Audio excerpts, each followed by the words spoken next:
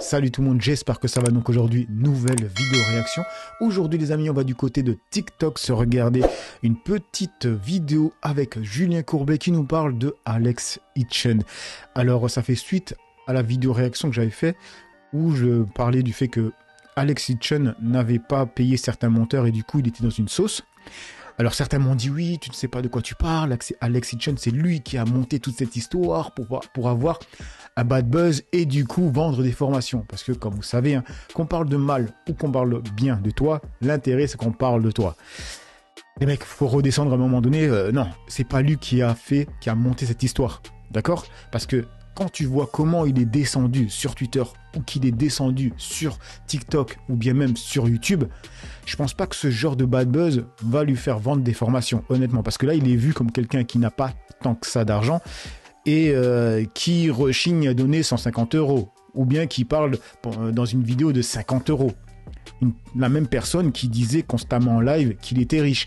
Donc ce n'est pas que les personnes ou moi-même nous avons euh, une rage contre lui ou quoi, c'est juste des facts, des mecs. À un moment donné, voilà, faut regarder la vérité en face, hein, faut pas, faut pas rager. Hein. Alex Etienne, il, dit des fois des vérités, mais après, euh, quand il fait de la merde, faut dire qu'il fait de la merde. Hein. C'est un humain. Bref, donc on va s'écouter ça.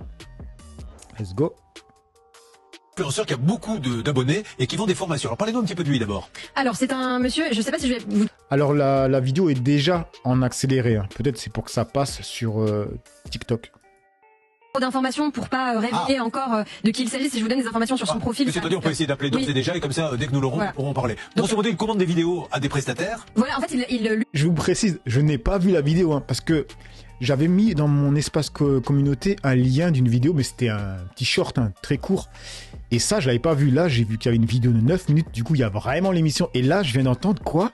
On va voir quand on va l'appeler. Si j'ai bien compris donc ils vont appeler Alex? Attendez se filme, il fait des vidéos et il demande à des prestataires de créer un montage de ces vidéos pour qu'ils puissent ensuite les publier sur ses réseaux sociaux. Comme on fait nous ici à la télé, dans les reportages quand vous voyez des DJT, etc., il y a des petits reportages et il y a ce qu'on appelle un monteur qui prend toutes les images qu'a ramené le journaliste et il en fait, il, euh, il y a 10 minutes d'image, il en fait une minute 30 pour en faire un reportage. Et c'est ça qui ne paye pas et ce qui est hallucinant dans ce dossier, c'est qu'il n'y a pas de contrat de travail, pas de facture, pas de devis, rien. Tout ça s'est fait un petit peu avec des échanges de SMS qu'on a, hein, qu'on a récupéré. Donc évidemment, euh, tout ça est prouvé, mais euh, ils se sont contentés de s'échanger des SMS pour savoir combien seraient payés les uns et les autres. On fera un petit point de droit, contrat de travail, parce que c'est vrai qu'il vaut mieux avoir un vrai contrat de travail, mais à partir du moment où on travaille, attention, le contrat existe de fait, vous nous direz ça dans une seconde, je veux juste qu'on accueille la personne qui a été lésée, euh, l'une des personnes qui est là, Stan. C'est Julien qui est en ligne avec nous, euh, un monteur qui dit ne pas être payé justement par cet influenceur. Bonjour Julien. Alors Julien, il va falloir parler bien fort. Déjà première question, avez-vous un kit main libre ou un, haut-parleur? Ah non, non, vous mettez surtout pas haut-parleur. Ça, c'est terrible. Si vous faites ça, vous déclenchez une guerre mondiale. Euh, non, non, il faut pas de haut-parleur ni de kit main libre. Allez, parlez-moi. Voilà, Merci beaucoup, Julien. Comment vous a-t-il contacté cet influenceur? Alors c'est moi qui ai contacté pour le, recrutement des monteurs. Il poste des stories sur Instagram et il offre en fait euh, des postes de monteurs euh, via Instagram. Donc il passe des annonces sur Instagram. Je recherche des monteurs. Vous avez répondu, c'est ok. Quel est le prix du montage à la journée, par exemple? Alors c'est un forfait au mois et à la base on était sur une base de 1000 euros plus 300 euros de prix. Vous travaillez chez vous, vous voulez, il vous envoie vous les rushs, ce que l'on appelle tout, tout ce qu'il a tourné, c'est vous qui devez faire le montage. Tout à fait. Bien. Euh, vous avez été payé à un moment donné, puis ça s'est passé, racontez-nous. C'est ça. Alors j'ai commencé en septembre 2022, donc au début de la collaboration, tout était nickel. On avait les 1000 euros plus 300 euros de prime, qui était un petit peu au feeling, c'est-à-dire que si on rendait tout à l'heure, on avait les 300 euros. Et au fil de l'année, après janvier, février 2023, euh, il a décidé de baisser les, salaires. Donc on est passé à 800, 850. Alors ça c'est la deuxième question, vous notez blanche qu'on vous posera. Donc la première sur les contrats de travail, la deuxième c'est est-ce qu'on peut décider au bout d'un moment de dire bah tiens maintenant c'est la même chose mais moins bien payé. Continuez monsieur. D'accord euh, Donc 850. Et euh, on arrive, au fur et à mesure du temps, les salaires qui arrivaient à la fin, le, le 28 de chaque mois, de, de, la fin de chaque mois. Ensuite, ça s'est passé, c'est arrivé le 5, le 10, le 15. C'est-à-dire que ça arrivait toujours le 28, mais pas du bon mois, quoi, visiblement. Oui, c'est-à-dire qu'après après un an, au lieu d'être payé, par exemple, le 28 septembre, on était payé le 16 octobre. Oui, c'est ça, un mois plus tard. Euh, Aujourd'hui, combien êtes-vous dans ce cas, Julien, à peu près, à votre connaissance? Euh, 4. Et quand vous l'appelez en disant, mais on n'a pas été payé, etc., qu'est-ce qu'il vous répond, ce monsieur? Il continue à, à publier d'autres vidéos qui, du coup, sont par d'autres personnes parce que vous avez dit stop, vous oui, moi j'ai dit stop euh, à la moitié du mois dernier, donc mi-octobre. Mais comme il y a un très gros turnover, vous c'est un petit peu comme euh, dans les chaînes de fast-food. Ils restent trois mois, après ils abandonnent, ils en prennent d'autres, ils les remplacent. En fait, on est très remplaçable. Très bien. Alors on va euh, ensuite euh, l'appeler. On essaie là d'ores et déjà il pourrait y avoir une alerte. Charlotte nous dira deux trois petites choses. Le contrat de travail, parce que ça c'est très important. L'idéal, si vous suivez, ça peut vous arriver, c'est quand quelqu'un vous propose du travail, c'est effectivement d'avoir un, un, contrat avec les horaires, le lieu signé, etc. Néanmoins, s'il n'y en a pas, il faut pas croire que vous êtes complètement démuni. Le simple fait de venir travailler, de répondre à des ordres, c'est déjà un contrat de travail. Oui, et généralement, alors on va voir que dans ce cas, c'est pas le cas. Généralement, on vous remet une fiche de paye, même si vous n'avez pas de contrat de travail. Il faut rappeler que le, la seule fois où le contrat de travail n'est pas obligatoire, c'est quand c'est un contrat à durée indéterminée et à temps plein. Là, le contrat de travail n'est pas obligatoire. Dans tous les autres cas, donc si c'est un CDD ou si c'est un contrat à temps partiel, le contrat de travail est obligatoire. Et si vous l'avez pas, eh bien l'employeur, évidemment, c'est l'employeur, hein, parce que c'est lui qui doit faire le contrat, risque une amende importante. N'oublions pas que pour se ménager l'épreuve, il existe un outil que on n'avait pas nous il y a très très longtemps, c'est l'internet, le mail. Le simple fait de dire bonjour monsieur, j'ai pris aujourd'hui mon travail, euh, je, voilà pour avoir des preuves que vous avez bien du boulot, etc. Bon, euh, vous vous pensez, quel est votre sentiment monsieur sur ce, sur cette personne? Bah, en fait, moi, ce que je veux, c'est qu'il n'y euh, a plus personne qui travaille avec lui, parce que c'est pas la première fois qu'il le fait, c'est pas la dernière fois. Donc il ne faut pas répondre à ces offres de stage. Il finit par trahir tout le monde, au final. Et là, vous avez été plus mettre combien, vous, Julien? Euh, bah, j'ai travaillé du 1er au 17 octobre et j'ai rien reçu. J'ai été bloqué par les managers. Il n'a jamais répondu à mes messages. parce qu'il a des managers qui s'occupent de tout ça et qui vous ont bloqué, vous carrément, pour vous demander combien. Bon, voilà. On appellera les managers, on appellera l'influenceur, on demande à tout le monde si vous vous êtes reconnu dans cette histoire, vous saurez qu'il s'agit rapidement euh, de nous appeler au 3210 ou de nous faire un petit email. Là, ça peut vous arriver à m6.fr. On jette un coup d'œil en permanence. Ah bah, je vais te pause, juste montrer là, parce que là, il y a un message à côté. J'ai vu, c'est marqué.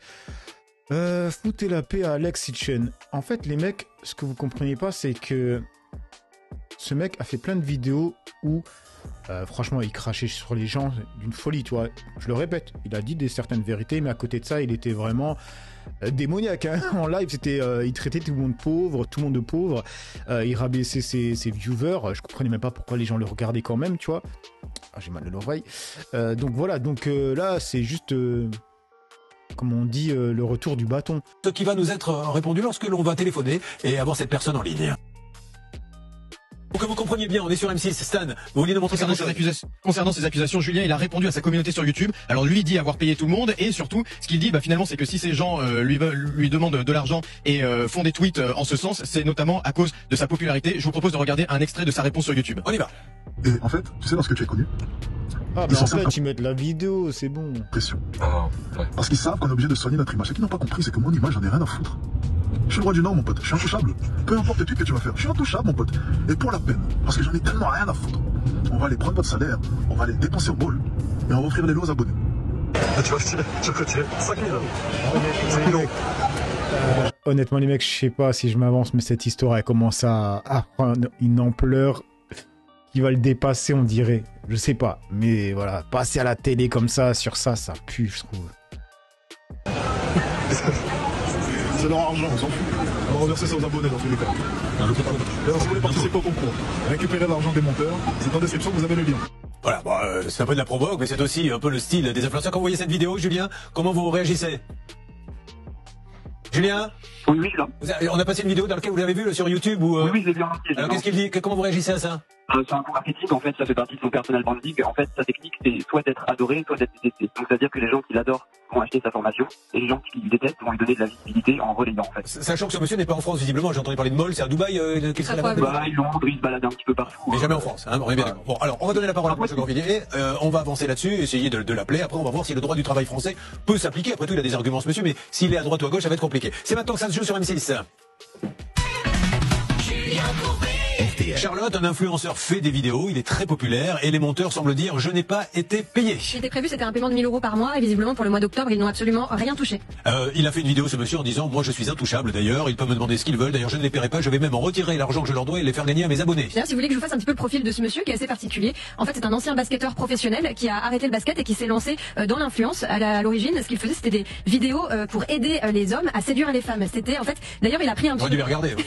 il, a, il a pris un pseudo et vous connaissez peut-être ce film culte des années 2000 qui s'appelle Hitch avec Will Smith, et eh bien il a pris comme pseudo le nom du personnage principal et il, il, Alex il, se, il se présente comme expert en séduction, séduction et donc aujourd'hui il propose ses formations à la vente. Alors par exemple vous avez pour 300 euros comment avoir de la conversation devient captivant aux yeux des femmes en seulement 30 secondes. 30 secondes. Ça intéressera peut-être certains d'entre vous. Et puis euh, il a développé son activité au point maintenant de, de proposer des formations pour euh, gagner de l'argent, devenir riche rapidement. Petit warning quand même sur ce genre de formation euh, qui vous promettent monts et merveilles pour 3 400 euros, ça paraît quand même très peu crédible. Ça après chacun est libre de, de, de, de savoir s'il veut acheter ou pas. On n'est pas là pour juger ça. Juste euh, sur YouTube, il y a une, vidéo que nos, amis de Ça peut vous arriver peuvent voir. Comment s'appelle euh, cette vidéo, s'il vous plaît, Stan?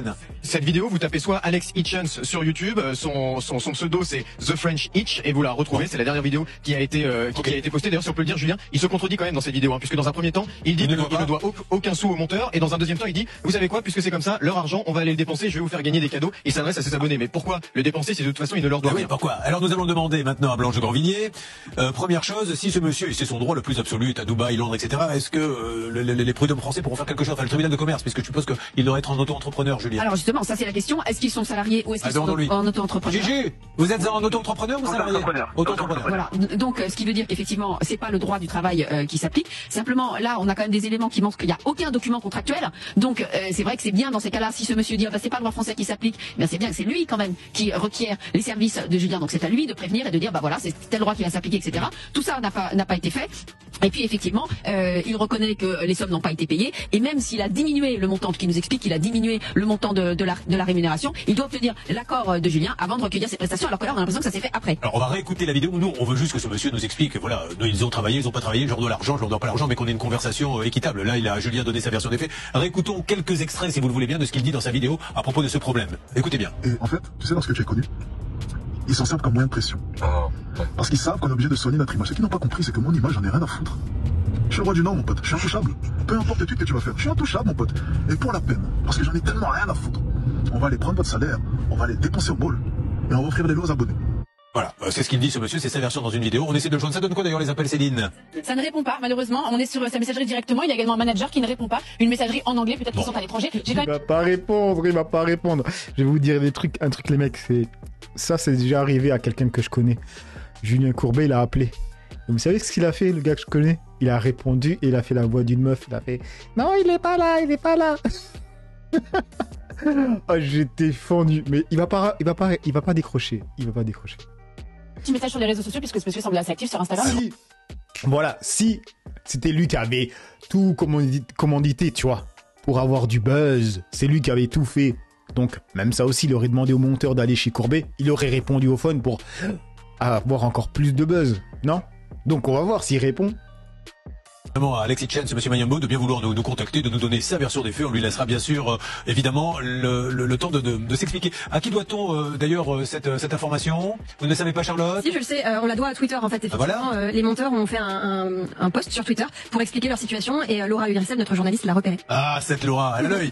Dites-moi, Julien, vous comptez aller plus loin, vous, et peut-être essayer de saisir la justice ou pas du tout? Ah, mais c'est même pas les monteurs qui sont allés, c'est carrément les journalistes qui sont venus les retrouver, je crois parce que je suis pas dans une situation où vraiment euh, j'ai besoin des 400 euros qui manquent, j'ai plein de clients, j'ai beaucoup de travail, donc pour moi c'est ok. Mais c'est vraiment pour faire de la prévention et que les nouveaux monteurs fassent attention à ce genre de personnages. n'est pas le seul, hein. c'est pas le seul des formateurs à Dubaï à arnaquer les monteurs. Et Dubaï, ils y tous là-bas. Oui, bah oui. Je travaille pas avec les gens de Dubaï. Ça marche, merci beaucoup Julien, on avance. Oui Charlotte Une petite info, l'entreprise de ce Alex Hitchens, euh, de son vrai nom Isaac Mayembo, s'appelle AH Corp. C'est ce qui est indiqué sur son site internet, mais il n'y a aucun numéro d'immatriculation. Visiblement, il prétend que son entreprise est immatriculée à Dubaï. Je ne trouve pas de traces de ça pour l'instant. Il y a une entreprise individuelle à son nom dans le 19e arrondissement, mais voilà, encore quelque chose d'assez euh, flou. Euh, on, trouve difficilement euh, où est enregistrée la société véritablement. Le ministre Le Maire essaie de faire apparemment le ménage, mais c'est pour ça qu'ils portent tout souvent à Dubaï, parce que là-bas, ils sont intouchables. Oui, c'est surtout que fiscalement, c'est beaucoup plus intéressant. Oui, bon, moi, les impôts, je les paye, j'adore ça. Hein. Côtes aux amis des impôts, c'est les gens les plus formidables que je connaisse au monde. Vraiment, franchement, quand j'étais petit, moi, j'étais, je rêvais de travailler aux impôts. Donc voilà les mecs pour euh, la vidéo. Donc vous pensez quoi? Vous pensez que c'est Alex qui est derrière tout ça pour avoir un max de buzz? Et non, c'est pas lui qui est derrière tout ça tout simplement. De toute façon, vous pensez honnêtement que ce genre de buzz, ça peut faire vendre des formations? Franchement, ça vous donne envie d'acheter sa formation ça? Déjà que la formation elle vaut dans les 3000 et quelques, je me demande qui paye ça mais rajoutez ça en plus. Mais c'est quoi votre problème si vous achetez l'information? Bref, faites ce que vous voulez. Hein. Sur ce, je vous laisse. N'oubliez pas dans l'espace commentaire, dans la joie et la bonne humeur et dans le respect. Et on se dit à une autre vidéo. Allez, peace les amis.